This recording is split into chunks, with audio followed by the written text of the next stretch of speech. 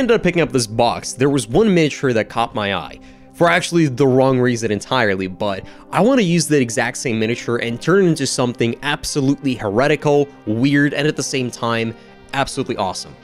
And to start things off, I'm going to grab my pair of hedge trimmers and take off this flag, which was actually the main thing that caught my eye originally when I saw this model.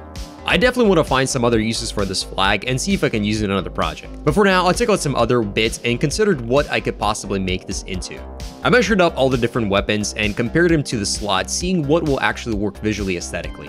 When I originally started this project, I didn't have a specific idea in mind, and it only came together much later when all the pieces sort of came through. I originally want to actually use this hammer, but the moment I put on the Psyker staff, I instantly had an idea for what this project could be. Reading the books, Belisarius Cawl has been doing some extremely heretical stuff. He's been experimenting with different gene seeds that, frankly, he should not have access to uh, when he was designing the Primaris. And some of the things he made have been hinted at as being very out of the loop. But before getting more into that, I decided to take off this head, which I originally actually took off and I was considering making this project something else. So instead, I'm to replace this head with something that I think could match this much more. I tried out a different heads, uh, first was a normal Primaris one, then this one from the Grey Knights that I thought worked pretty well. But I ended up settling for this head instead and placing it much lower in the socket. And the way it indented itself into the armor gave this very cool aesthetic of the armor just being really chunky and powerful. So I ended up taking off all the parts and I started scraping off all the different areas that I thought gave off too much of a vibe of it still being a Sigmar miniature. Also scraping off a lot of the extra ornaments as I thought it was a little bit too much.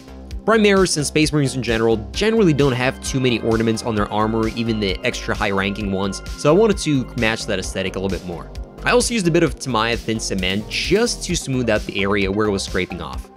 Also removing a lot of these visual leather belts that were essentially not matching the 40k aesthetic too much. Scraping off the Age of Sigmar shoulder pad to make it more plain. I also considered using this Black Templar one, but I realized it was a bit too much. Now I'm to take out Sprue Goo, which is to be uh, just a lifesaver for what I need to do. Which is to be essentially attaching this backpack straight to the back armor without doing any additional modifications. It'll naturally fill in all the extra gaps between the armor and the backpack, making sure that it seals really well. When I took out the staff, I originally wanted to cut it off at this area, but when I compared the size to the actual model, I realized it was looking a little bit too tall. So I ended up detaching it from that area, but also trying my best to keep that little cable. I use a bit of sprue so that it naturally attaches to the staff and looks much more coherent with the rest of it. And as I was considering making a second model, I finally realized what this project could be. In the books, there's this character called Alpha Primus, which is hinted at as being this very powerful Psyker in one of the original Primaris. It's quite heavily hinted that he's essentially part Thousand Sons, but a loyalist. And that's the idea I really want to lean into. But for now, it's time to start the painting process, for which I grabbed some Pro Acryl Dark Umber and applied a very thin glaze as my original base coat. You might have seen me paint the skeleton using only two paints, and uh, when I was actually laying my second coat, I ended up mixing umber with this blue-gray color, and it generated this very interesting color that I really enjoyed. I ended up going a little bit too far into the blue spectrum, but for this miniature, I want to lead into that exact same color, but this time, really go into the whole desaturated spectrum of it. So I started off by doing specifically that, mixing dark umber from Pro Acryl and AK Interactive dark blue-gray. They're contrasting colors, so by mixing them together, I created a very desaturated color, but at the same time, it started to have this very interesting look to it. As my base tone was a very warm color, applying it much colder and desaturating at the same time gave it a very lifeless look to it. Which gave a really cool aesthetic that I think will fit the project essentially really well, as I don't want this guy to be part of a very large chapter or something similar to that. With the armor looking as heroic as it is, it kind of creates this very interesting dynamic between the armor showcasing him as being this very bright hero, however the colors will be so desaturated and lifeless, showcasing the idea that he's not proud of his chapter and it's something that is a well-hidden secret. For the painting style, I went for something different than what I usually do. I decided to create these brush strokes in a very chaotic manner making sure I never have smooth blends and consistently have the previous layer always visible making sure that every single color I put on the miniature is somehow visible through the different lines and cracks.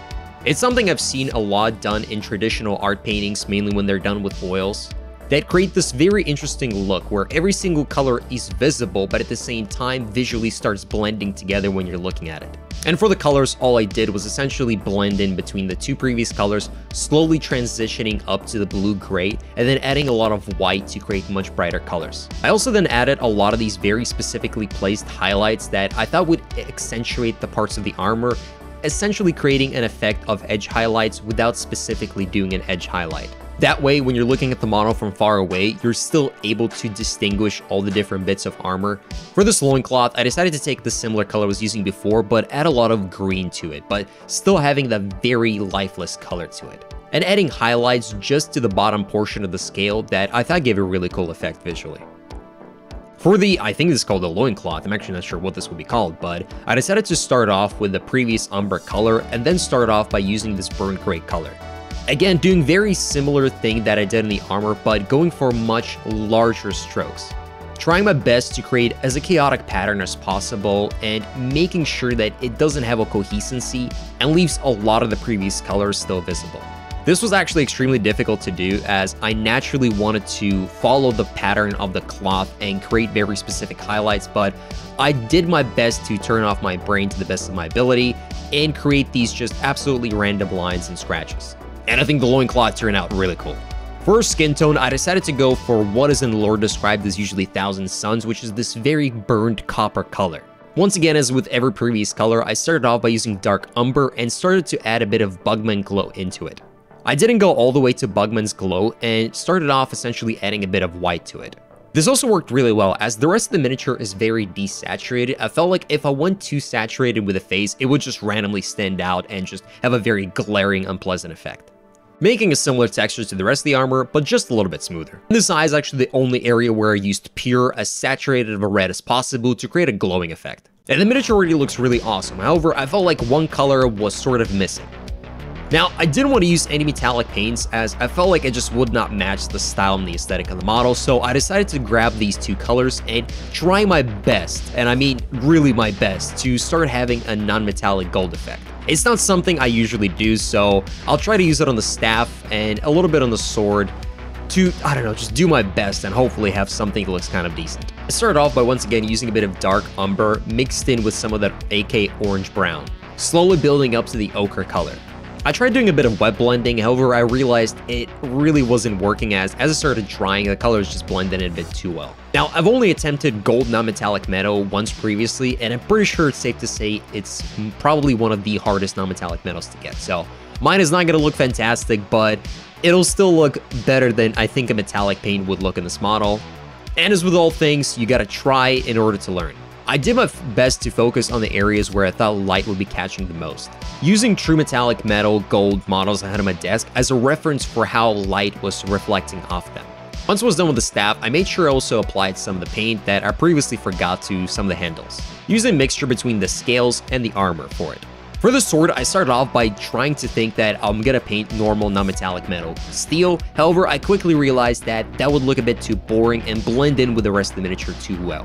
So I took out some Pro Acryl turquoise and started mixing it with my previous umber color. Mixing it a tiny amount of white and turquoise to make sure that the color was still desaturated but also bright enough that visually you'd be able to distinguish it as turquoise. Again, doing the similar pattern that I did for the rest of the model, which I thought would create coherency and just visually look really cool.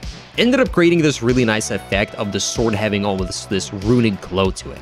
I then varnished the model and used some of my favorite acrylic wash to essentially create more depth on some of the areas that I thought got washed out a bit too much, which was primarily the shoulder pad area of the knee pad that also had the lion, and some areas of the staff. The main reason I varnished the model was because the acrylic wash will have a much easier time essentially settling under the recesses and not staining the model. I was worried the acrylic wash would actually ruin all the previous work I did, however the effect turned out fantastic and I'm glad I did it. I then once again varnished the model, this time in pure matte, and started working on the base cutting off these push-to-fit pegs. For my base, I decided to use this 3D printed Imperial statue, which looks pretty cool. I had this base for quite some time, but I could never find a perfect use for it, mainly because it didn't really match the aesthetic of all my other units, and having it just on its own will not really fit in army aesthetic, so this actually works perfectly for this project. For a while, I did consider repainting it, but I quite quickly realized that it actually fits the aesthetic of my model perfectly. However, I did attach a lot of these different tufts that I thought would really liven up the base, and create a lot more visual contrast with my miniature. Hopefully separating it visually from the base, but at the same time creating much more of a dynamic look for it. Also using a bit of Militarum contrast paint to create a bit more of green on the base. And with that, the miniature was done.